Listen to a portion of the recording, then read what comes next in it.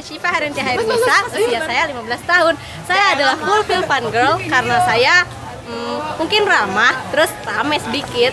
Menurut saya tradisi Indonesia itu beragam, unik, dan macam-macam deh pokoknya. Dukung saya ya menjadi top top girl idola Asia.